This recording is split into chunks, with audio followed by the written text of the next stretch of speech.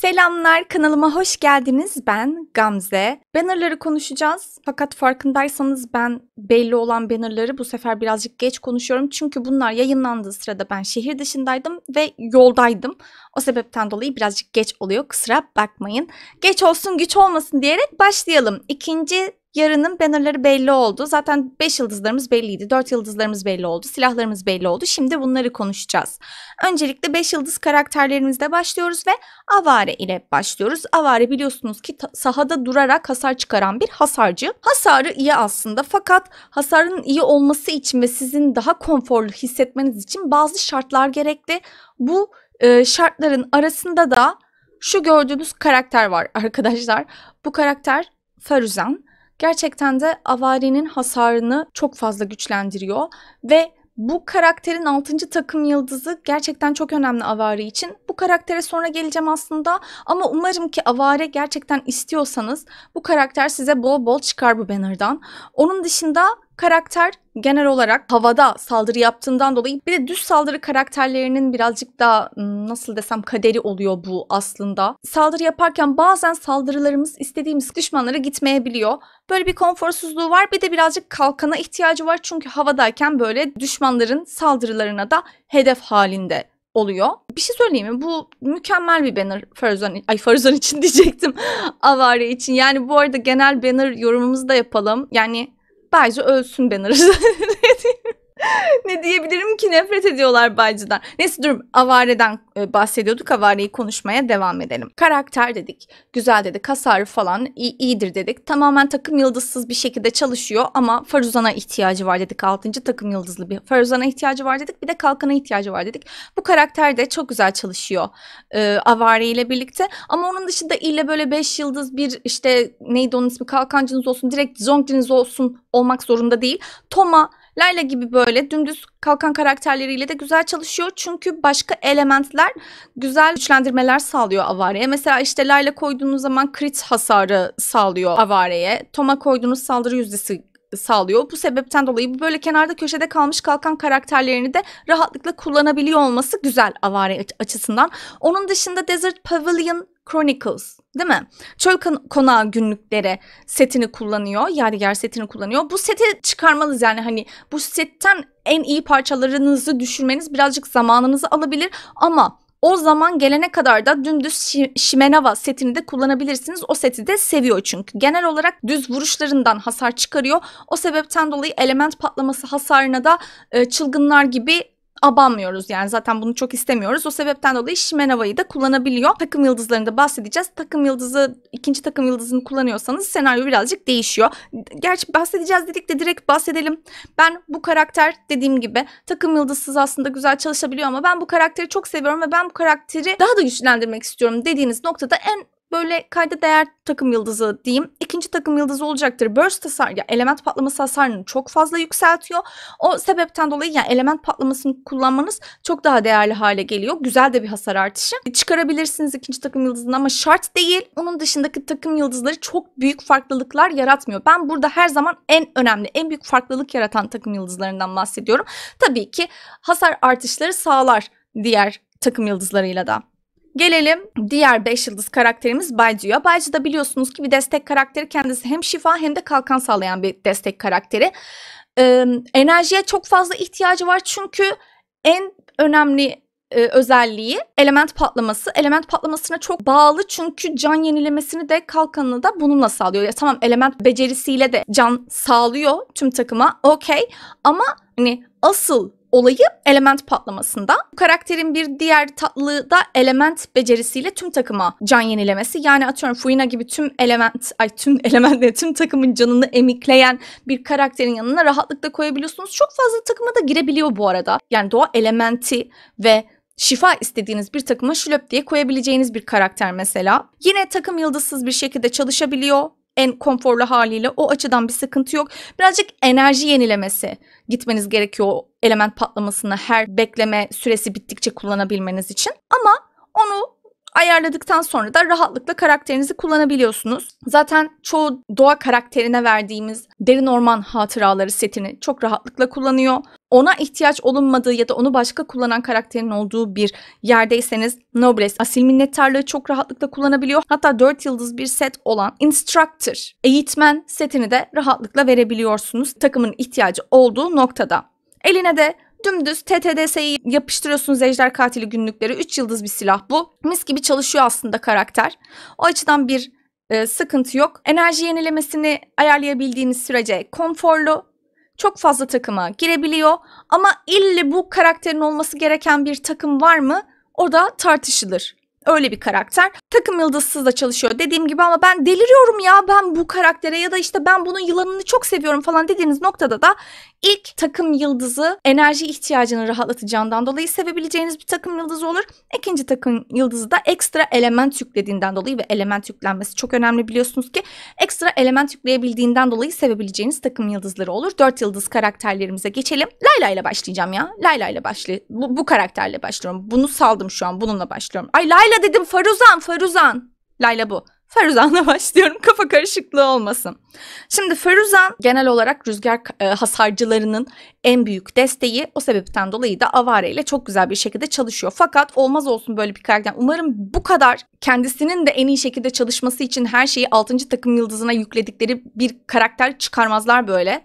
Bir daha olmaz olsun. Ama birazcık 6. takım yıldızına gelene kadar rahatsızlıkları konforsuzlukları olabilen bir karakter. Onun dışında aslında yaptığı işi gayet güzel bir şekilde yapıyor Feruzan. Kurması da çok rahat. Zaten yani her rüzgar karakterinin eline yeşil gölge veriyoruz. Yeşil gölgenin ihtiyaç olmadığı bir noktada Nobles asil minnettarlıkta verebilirsiniz. Güzel bir şekilde her şeyini ayarlamışsınızdır. Öyle bir durumda element patlamasıyla da hasar versin dediğiniz noktada amblem setini de verebilirsiniz karaktere. En olmadı sürgün setini de verebilirsiniz. 4 yıldız bir set. Silah olarak zaten eline ya tabii ki eline dümdüz hasar veren, hasarını arttıracak silahları verebilirsiniz, yayları verebilirsiniz. O konuda bir sıkıntı yok da. Yani el, eline Favonius vereceksiniz. Hem enerji kendisine hem de takıma yaratsın diye. O yok. Sacrificial, kurban yayını verebilirsiniz. Dediğim gibi 6. takım yıldızı çok önemli rüzgar hasarcılarıyla çalışabilmesi için ama ikinci takım yıldızı da element patlamasını bekleme süresinden bekleme süresine kullanabilmemizin rahatlığını sağlayabildiğinden dolayı da güzel, önemli bir takım yıldızı. Erken takım yıldızı olarak da bundan bahsedebilirim sanırım. Bu karakteri takım yıldızı 6 olması çok önemli. Tekrardan hatırlatıyorum ve sizleri seviyorum. Gelelim Beydo'ya. Hadi Beydo'yu konuşurken de Baycan'ın suratını görelim. Görelim hadi. Beydo güzel bir karakter aslında. Güçlü 4 yıldızlarımızdan. Neden? Çünkü o bir Liye karakteri. güzel hasar çıkaran bir karakter. Hatta bazen hani böyle çok üstün oyuncuların diyeceğim ben benim için. üstün oyuncular kalkan olarak bile rahatlıkla B'de kullanmayı tercih eden oyuncular olabiliyor. O şekilde de kullanmak isteyebileceğiniz bir karakter olabilir duruma göre. Güzel hasar çıkaran bir karakter ama birazcık enerji istiyor açıkçası. O sebepten dolayı da eline genellikle biz Favonius çift elli kılıcını vermeyi seviyoruz. Olmadı kurban çift elli kılıcını da verebilirsiniz. Element becerisini iki kez kullanabilmesini ve böylelikle de enerji üretebilmesini sağlar. Fakat alanda bir tık daha fazla tak takım değil zaman geçirmenize e, sebep olur. Bu arada Beydo'yu de, direkt bir destek hasarcısı olarak değil de ana hasarcınız olarak böyle sahada kalan bir hasarcınız olarak kullanmayı da tercih edebilirsiniz duruma göre. O sizin oyun stilinize bağlı. Yani iki tarafa da gidebilen bir karakter. Bunu söylemeye çalışıyorum aslında. Beydo'nun ikinci takım yıldızı çok önemli. Çünkü element patlamasının daha fazla hedefe atlamasını sağlıyor ve Beydo öyle bir karakter ki çoklu düşmanların olduğu yerde daha güçlü oluyor. Yani gücü daha fazla ortaya çıkıyor diyeyim. Böyle tekli düşmanın olduğu yerde onun sağladığı o hasarı, o konforu çok iyi göremeyebilirsiniz ama özellikle 3 düşman vesaire varsa çok güzel bir bakarsın dersin o benim Beydoma bak dersin yani öyle bir karakter. Onun dışında şu an Banner'da olan Rain Slasher'da eğer ki enerji ihtiyacını çok rahat bir şekilde tutturduysanız element ustalığı veren bir silah olduğundan dolayı tercih edebileceği bir silah olabilir duruma göre dediğim gibi enerjisine göre. Çünkü ele element diyecektim. Elektrik karakterleri genelde element ustalığını sevebiliyorlar. Gelelim Layla'ya. Burada bıdırık gibi duran karakterimizi konuşalım. Bu karakter bir kalkan karakteri. E, Layla'nın şöyle ya güzel bir kalkan bu arada Layla. Gayet güzel bir kalkan. Sadece birazcık kalkanına bağlı bir karakter. Yani bir, bazen karakterler için işte element patlamasına bağlı bir karakter falan deriz ya böyle. Yani Layla kalkanına bağlı bir karakter. Çok değişik o açıdan. Böyle kalkanınız yok o sırada diyelim işte ya da kırılmış falan diyelim. Size sağladığı, kalkanı varken sağladığı hasar ve enerji bir anda yalan olabiliyor.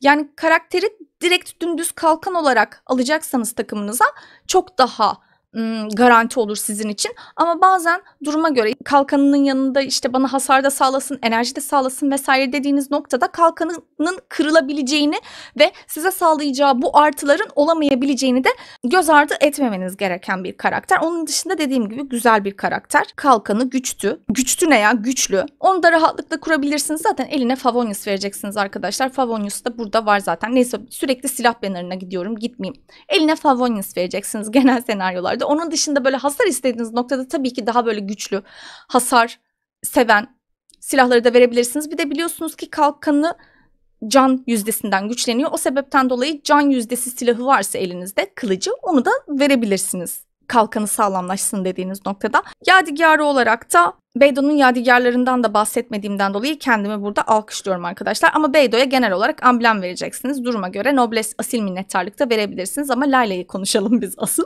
Ordunun azmi kullanabilir. İhtiyacınız olduğu noktada Nobles asil minnettarlık kullanabilir.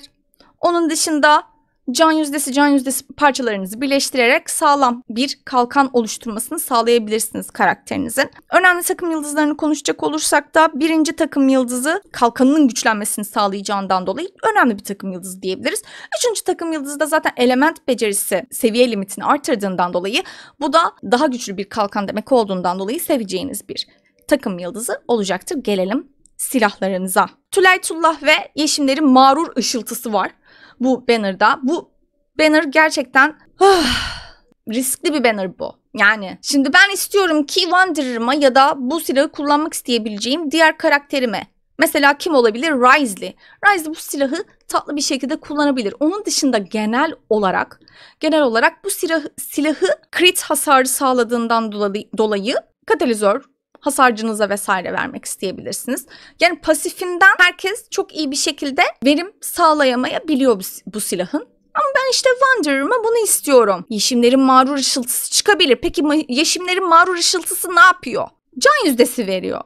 Can yüzdesine kimin ihtiyacı var bu oyunda katalizör karakterlerinden? Ya mesela Kokomi, Novelet bunlar can yüzdesi seven karakterler. Silahın pasifini salıyoruz böyle bir durumda arkadaşlar silahın pasifini güzel yani kullanamıyor bu karakterler öyle diyeyim. Yani en fazla bu silah sizde bir şekilde çıktı diyelim. Elinizde nüvilet var diyelim. Furina ile beraber kullanıyorsunuzdur nüviletinizi. Furina zaten size güzel bir güçlendirme sağlıyor. Öyle bir noktada ya prototype Kehribar'ın falan önüne geçer işte bu silah. Böyle bir banner yani bu. Banner'ın özeti bu. Bu silah banner'ı. Neyse gelelim küçük silah, küçük silahlar küçük silahlarımıza. Şimdi bu madenci kazması ve madenci başka bir şeyi. Madenci başka bir şey değil menzil göstergesiymiş. Ben de güzel bir şekilde abi menzil göstergesi madenci kazması tanıştırayım. Çünkü ben bu silahların varlığını unuttum açıkçası. Sizce neden unutmuş olabilirim? Sürekli ihtiyacımız olan silahlardan olmadıklarından dolayı unutmuş olabilirim mesela varsayımsal olarak. Şimdi bu silahlar saldırı yüzdesi sağlıyorlar. Yani saldırı yüzdesi seven karakterlerinizin eline şöyle böyle verebilirsiniz. Okey. Onun dışında pasif olarak da yaşanan karakter iyileştiğinde ya da bir karakteri iyileştirdiği zaman bir yük alıyor bunlar en fazla 3 yük olabilecek şekilde ve bir element becerisi ya da patlaması kullandığında bu yükleri harcadığı zaman her yük için %3 saldırı bonusu daha alıyor. Bir de tüm element hasarları %7 artıyor kullanan karakterin. İki silah için de yüzdeler bu şekilde. Pasif yüzdeleri. Yani kararınızı sizlerin arkadaşlar.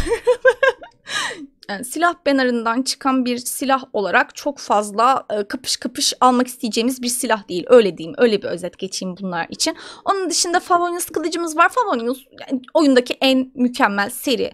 Çok iyi bir seri. Layla'ya verebilirsiniz bunu. Herhangi bir destek karakterinizin eline yapıştırabilirsiniz gönül rahatlığı ile. Onun dışında Rain Slasher'ımız var. Yağmur kesen silahımız. Element ustalığı veren bir silah bu. Element ustalığı seven çift elli kılıç kullanıcı karakterlerinize verebilirsiniz. Benim mesela Gaming'imin elinde. Beydo'ya verebilirsiniz dediğim gibi.